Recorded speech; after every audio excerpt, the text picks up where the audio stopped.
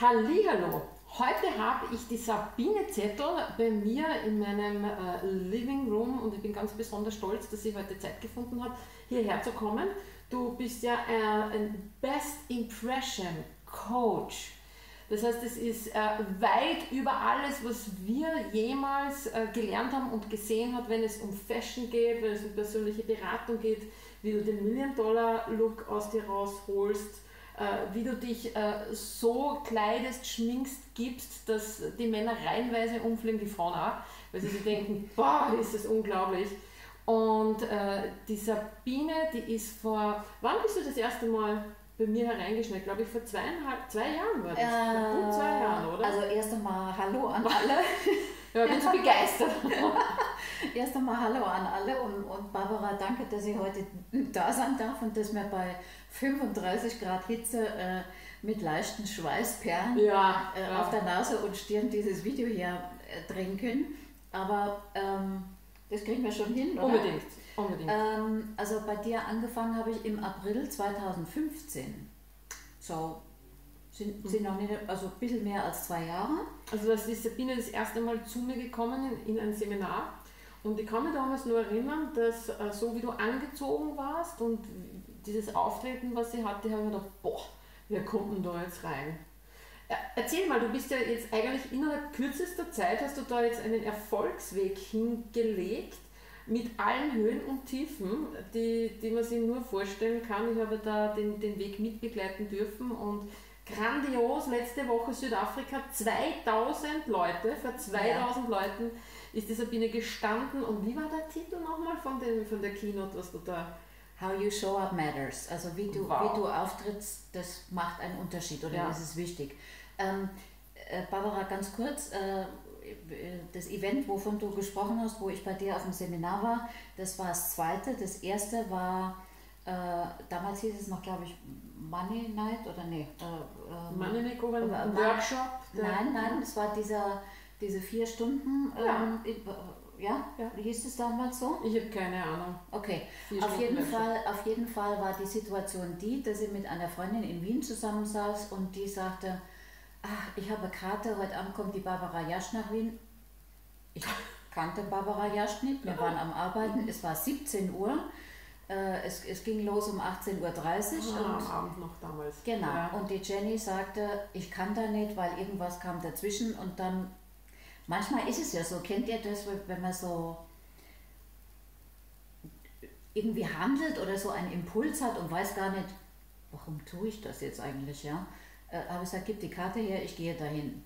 Und, ähm, und so kam ich zur Barbara ähm, und dann im, im, das war dann April 2015, gab es dann das erste Seminar in, im 19. Bezirk, Ja, noch das ganz genau, Money-Seminar. das Money-Seminar. Und, ähm, und ich erinnere mich noch genau, auch äh, als ich in den Raum reinkam, was ich anhatte. Und, und Barbara stand an der Tür und hat wirklich jeden mit Handschlag mehr oder weniger begrüßt und gesagt, und das Kleid will ich auch haben. Und da, glaube ich, begann unsere große Liebe miteinander und seitdem Und die Schuhe. und die Schuhe, ja. Äh, Die hat sie jetzt heute auch in einer anderen Farbe. Ähm, Und seitdem sind wir irgendwie verbandelt, ja.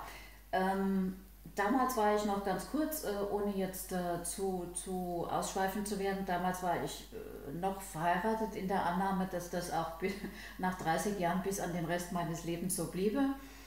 Ähm, Es gab dann eine Szene, äh, auf diesem Seminar, nämlich als wir uns beide in der Toilette getroffen haben und die Hände gewaschen haben und wirklich drei Sätze miteinander gewechselt haben. Wir kannten uns ja gar nicht großartig.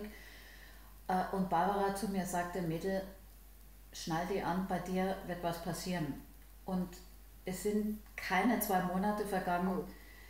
Dann war es auch Dann so. ist losgegangen, ja, oder? Wir fassen kurz zusammen. Äh, Es blieb kein Stein mehr auf dem nächsten. Die Talfahrt begann. Und zwar so rasant, dass, dass ke- keiner mehr richtig mitkam, am, am wenigsten ich. Ähm, aber irgendwann einmal ist man unten am Boden, bleibt erschüttert liegen und muss sich eine Zeit lang erholen. Ähm, und überlegt dann, okay, jetzt äh, bin ich ganz unten, wie kann es dann weiter nach oben gehen? Ich glaube, was ja bei dir auch der Punkt war, was wir Also damals in der Arbeit, was ich sofort gesehen habe, ist, dass da lange, lange, lange nicht hingeschaut worden ist auf viele Themen. Und das ist, wenn du da vielleicht auch davon betroffen bist, äh, schon lange irgendwo nicht hingeschaut zu haben, dann passiert das natürlich, wenn auf einmal dann die Dämme brechen, ja, dann ist das kein Bächlein, was aufgestaut worden ist, sondern das ist dann ein, ein, ein Riesenfluss. Und dann ist natürlich einmal die erste, zweite, dritte Flutwelle ein Wahnsinn und reißt sehr viel mit, weil ja. du hast ja auch in Amerika gelebt, du hast auch drei Kinder, ja. ja, und du hast ja da immer auch viel gearbeitet, was top erfolgreich. Ja. Und wie du da zu mir gekommen bist, hast du schon gesagt, hey, da funktioniert irgendwas äh, nicht mehr. Es funktioniert einfach ja. nicht. Auch das ja. Geldthema hat nicht mehr funktioniert. Ihr habt ja äh, aus dem Vollen gelebt. Also das ja, heißt, da waren schon die ganzen Anzeichen da. Ja, wir waren, also hm. ich kann gar nicht sagen, dass ich ein, ein, ein unglückliches Leben geführt habe. Es war bis 2010 eigentlich alles in Ordnung, Happy Family, äh, äh finanziell wunderbar, beide gearbeitet, äh, drei gesunde Kinder, äh, alles bestens, aber 2011 kam mir dann nach Wien und irgendwie, ich weiß nicht, ob das im Zusammenhang mit dieser, mit dieser, mit dieser Wahnsinnsstadt, äh, mit diesem ganz besonderen Flair in Wien zu tun hat. Auf jeden Fall, ab da ging es los. Ähm, aber ich habe immer noch nicht hingeschaut. Mhm. Äh, und ich kann mich erinnern, dass ab 2012 die Entwicklung begann, wo es so langsam angefangen hat, im Magen zu krummeln wuff, da, da ist irgendwas ungut, da ist jetzt gar keine Schuld, ja, oder, oder, oder äh, es sind auch keine dramatisch äh, schlimmen Dinge passiert, zunächst einmal. Ähm, aber irgendwas war aus der Ordnung und irgendwas drängte immer mehr, wie, wie also wenn ich den Vergleich mal bringen darf, wie, wie wenn man zu viel getrunken hat und langsam steigt es so nach oben und dann ausgezeichnet. Ne? Das ist ein schönes Bild, was dieser Sabine Ja, Entschuldigung, dass ich das, dass ich das gerade. Aber ich du kannst das nicht mehr aus, du kannst das dann nicht mehr Und dann ne? und dann wird es ausgespuckt, ob du ja. spucken willst oder ja. nicht, aber da, dann kotzt du einfach gegen die Wand. Ja? ja. Äh, manchmal wird man auch gegen die Wand gekotzt, aber, aber dann, dann, dann, dann kommt es einfach raus und, und, und so war es bei mir. Und äh, also und das hatte ich dann natürlich ganz schön aus dem Kontor, ja. Was würdest du denn empfehlen? Es äh, gibt ja viele Frauen und auch Männer, die in dieser Situation drinnen sind, die einfach nicht hinschauen, die aber schon spüren, hey, es passt nicht, was auch immer, Beziehung, Job, äh, Familie, was auch immer, Gesundheit ist ja genau die, ist es exakt das Gleiche und nicht und nicht hinschauen, nicht ändern, weiter tun wie bisher. Aus der Erfahrung, die du jetzt gemacht hast, ja, diese Hölle, wo du da durchgegangen ja. bist, wo du aber jetzt äh, durchstartest äh, am internationalen Parkett. Die Sabine, die äh, hat jetzt in Südafrika Top-Klientel äh, zu betreuen, wird da von einem Millionär zum anderen gereicht und das ist großartig, weil das von Anfang an sichtbar war.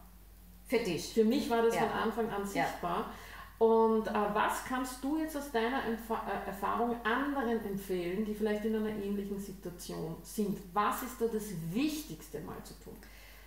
Also ähm, generell ist es ja so, dass wir Menschen lernen durch Schmerzen. Mhm, das ist so. Äh, äh gesundheitlich, äh, äh, in, in, in deinem Umfeld passiert irgendwas.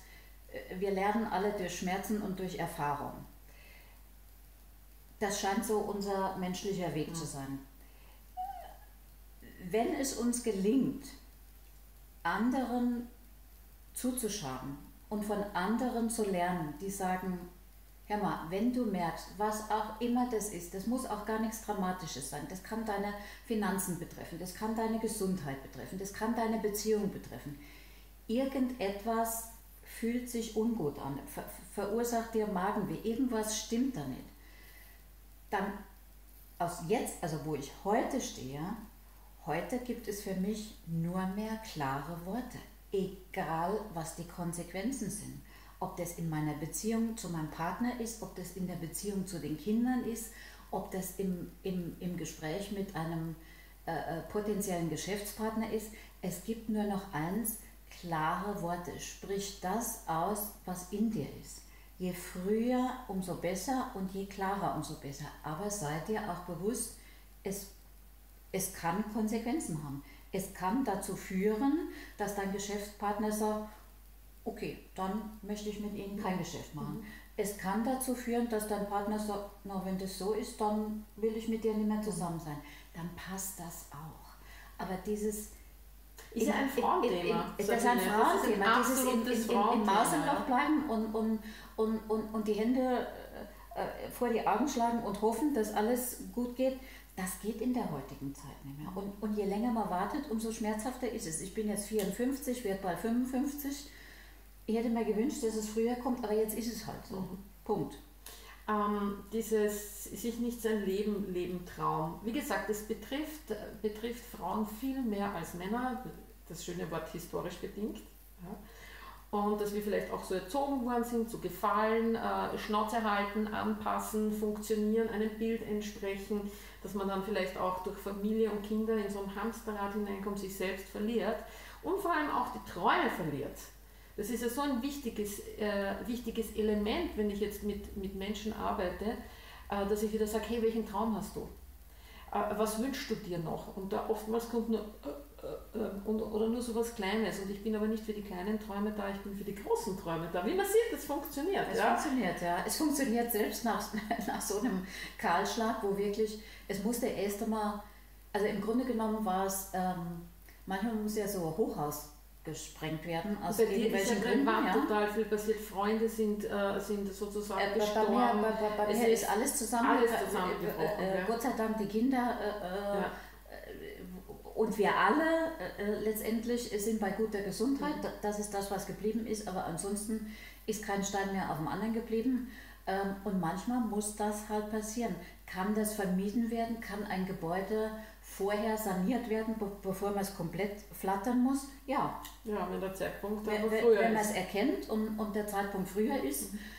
dann, dann dann ist, es einfach, Kohle, ne? dann, dann, ist es einfach der bessere Weg, äh, den so zu gehen. Aber manche Wege gehen halt so und, und was ich jetzt die letzten zwei Jahre gelernt habe, ist diesen Weg jetzt äh, äh, mal aufhören, damit zu hadern und zu sagen, hätte ich doch nur und wäre nur. Mhm.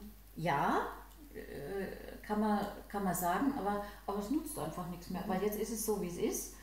Ähm, also auch für diejenigen, die, wenn, wenn du jetzt äh, hier zuschaust und dir denkst, boah, ich bin ja schon zu alt dafür. Ja. Ja, das, das sind ja. viele. Das ist, wir Frauen denken, äh, aber manche denken es mit 30 schon, manche denken mit 25, manche sind mit 85 noch, dass sie denken, ich bin ja. noch zu jung für das. Ja. Äh, aber wie auch immer, also deine Botschaft hier ist. Meine Botschaft ist, es kommt alles zu dem richtigen Zeitpunkt, wo, wo es für dich richtig ist. Mhm. Und ob du jetzt 25, 35, 45 oder wie ich bei 55 bist, mhm. it's never too late. Es ist, es ist eine Frage von Mut und eine Frage, dass du sagst, Momente mal, die bekannten Ratten und Terroristen da oben, ich gehe jetzt mal ein bisschen auf Urlaub und jetzt übernehme ich. Du hast dich ja dann auch jedem Seminar gestellt von mir. Ja. Also sogar mehrmals. Ja. ja. ja. Also ist ordentlich zur Sache gegangen. Ja. Und äh, ich kann mich dann erinnern, am Ego Day letztes Jahr ja, warst du da. Stimmt, ähm, stimmt. Da warst du noch mitten im Prozess. Also ja. da haben wir schon herausgearbeitet, ja, wo soll die Reise hingehen, aber das da war es noch ja. zu früh für das.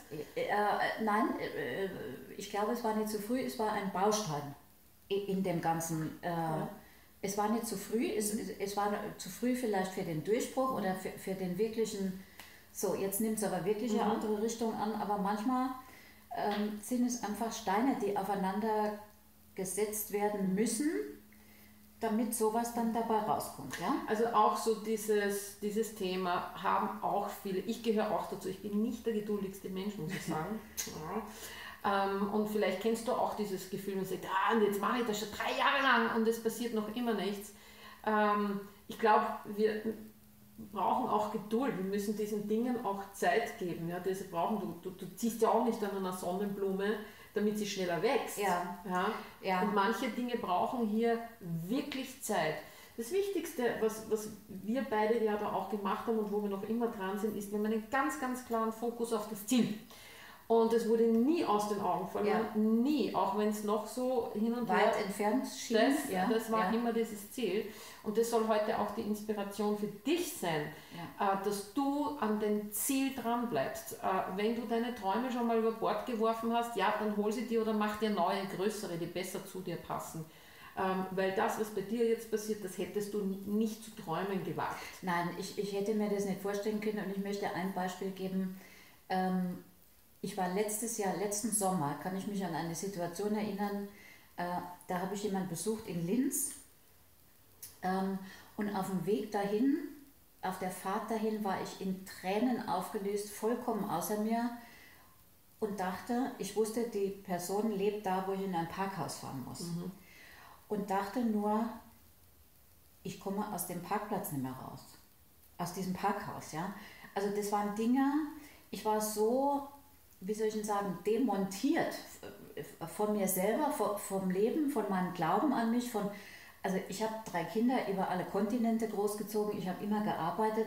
Das, das, das schien vollkommen unfassbar, ja, wieso ich Angst habe, in, ein, in, in ein Parkhaus mhm. zu fahren und zu denken, ich kriege den Gang nicht mehr da rein, um da rauszukommen. Mhm. Ähm, und damals zu denken, dass ich ein Jahr später in Südafrika, in einem Land, das ich nie betreten wollte, aus verschiedensten Gründen, auf einer Bühne stehe vor 2000 Leuten und in Englisch eine freie Rede oder Sprache, also wie sagt man, Vortrag, äh, Vortrag einen freien Vortrag in Englisch vor Billionären. Es war auf der Bühne Hugh Hilton, der, der ähm, äh, Onkel von Paris Hilton äh, aus der Hilton Family, äh, der sein Geld äh, nicht mit der Hotelkette, sondern mit, der ist real, also ähm, Immobilien, der hat in Immobilien investiert und hat damit seine Milliarden gemacht. Der stand hinter mir an, auf, in der Garderobe und, und hat mir die Hand gedrückt und hat gesagt, ich weiß, wie sich das anfühlt und du kannst es. Also, das, da, da gibt es gar keinen Zusammenhang mehr. Ja? Aber was ich damit sagen will, im Grunde genommen ist das alles gar nicht so wichtig, sondern ob jetzt der Joe Hilton da hinter der Bühne war und ob ich das jetzt halbwegs hinter mich gebracht habe, beziehungsweise den Leuten in, in Südafrika auch so viel äh, äh, Wert und Value und mhm. äh, bringen konnte, ja, dass die auf mich zugekommen sind und mich mehr oder weniger auf Knien angefleht haben, ich möge wiederkommen, mit dem Ergebnis, dass ich im Februar hinfliege und ein bereits mit 50 Leuten gebuchtes Seminar dort gebe. Wie, also da, bra das, da, da, da brauche ich jetzt die Barbara, ich, ich hatte noch kein Programm, ich habe noch keinen Preis gehabt, ich, äh, äh aber es lief einfach und ich habe gesagt, okay Kinder, wir machen das und das Wie zeigt sich auf dem Weg. Ah, das ist sehr wichtig. Ja, das, das, das Wie zeigt sich auf dem Weg. Ähm, wenn du mal also das diese, Was hast? Wenn du mal, wenn du mal den Korken geknallt hast von, das mache ich jetzt einfach. Mhm. Das, das mache ich jetzt einfach, ja. Ich habe keine Ahnung, wie ich da oben auf der Bühne sein werde, ob mir nicht mehr einfällt, wie ich heiße, wo ich herkomme. Ich mache das jetzt einfach. Und, und da gibt es wirklich so gute, so gute Sätze, die, die heißen, wenn andere das können, dann kann ich das auch. Ja. Hör auf, dich zu vergleichen. Du machst es so, wie du kannst. Du, was du auch gemacht hast, du hast jetzt auch die besten Leute in jedem Bereich geholt, die dich unterstützen, die dich coachen. Das ist auch eine ganz wichtige Kenntnis. Die Sabine berät mich mit Outfit und das ist immer wieder total lustig wenn sie, äh, vorhin hat man gerade so eine Situation, wo mir dachte, boah, der Lippenstift, der muss doch immer Ton in Ton sein mit dem Kleidern. Und sie sagt, wo bist du her? Äh, das ist nicht meine Expertise. Wichtig ist es, dass ich jemanden kenne, der diese Expertise hat. Auch hier mein Tipp, wenn du dich weiterentwickeln möchtest, in welchem Bereich auch immer, hol dir immer die Besten an Bord. Und ich wollte dich ja zum äh, diesjährigen Ego-Day holen, der ist ja. am 22.09. in Wien, wenn du da Zeit hast dieser Tag war für viele Frauen der Start in ein absolutes neues Leben. Du kennst ja auch viele, die am Ego Day begonnen haben. Viele sind jetzt auch schon deine Kundinnen ja, geworden und ja. es ist absoluter Wahnsinn, was sich da danach entwickelt hat, wenn man ein, zwei, drei Jahre oft schaut. Das ist unglaublich. Ja, das und ich wollte dich so gerne auf der Bühne haben. Ja, nächstes aber, Jahr. Ja, nächstes Jahr ist schon, ist schon im Kalender eingetragen. Ja. Dieses Jahr Geht leider nicht, weil ich in den USA bin, äh, unter anderem bei der Margit und wir werden das äh, die Seminarinhalte schärfen und, äh, und genau profilieren. Mhm. Und zwar speziell jetzt auch ausgerichtet auf Südafrika. Mhm. Und das fällt jetzt halt leider gerade, ist schon gebucht und alles fällt jetzt halt leider gerade auf den Ego-Day. Aber ähm, ich habe mir schon überlegt, die Margit und ich könnten ja vielleicht einen kleinen Videoclip äh, drehen und den, wenn sich das irgendwie ergibt, den könntest du ja schicken oder einspielen oder irgendwas in unsere, auf jeden Fall unsere, unsere, unsere besten äh, Wünsche schicken. Und äh, ich kann euch nur empfehlen, manchmal braucht es nur eine ganz kleine Entscheidung. Es braucht noch nicht manchmal Entscheidung, es braucht einfach zu sagen, okay, da gehe ich mal hin. Okay, das mache ich immer. Oft ist es dieser eine Mensch, der in dein Leben tritt, dieses eine Erlebnis, der eine Mensch, der an dich glaubt, das kann so viel verändern, das, das kann wirklich Berge versetzen. Und zum Coaching möchte ich noch was sagen. Ähm, es gibt keinen einzigen erfolgreichen Sportler, Geschäfts CEO, genau. Geschäftsmann, Geschäftsfrau, äh, ähm, Schauspieler, sonstiges auf dieser Welt, die nicht einen bis mehrere in Spezialgebieten Coaches haben. Dieses Coaching ist das A und O. Schatz, wir haben, ich nehme das jetzt mal an, alle einen Steuerberater, oder? Ich schon, massiv. Ja, es, äh, äh das ja, ist klar. auch ein Coach. Ja. Nimm dir einen Coach da, wo du, wo, wo, du, wo du Lücken hast, da, wo, wo, wo nicht deine Expertise ist. Du hast deine Expertise irgendwo anders. Ja? Nimm dir dafür Leute, die, die dich pushen, die dich trainieren. Die, die Top-Fußballspieler, die haben, ich weiß nicht, die haben einen Mentalcoach, die haben einen äh, äh, Freistoßcoach, die haben einen Fitnesscoach, die haben, alles. ich weiß nicht was alles. Ja?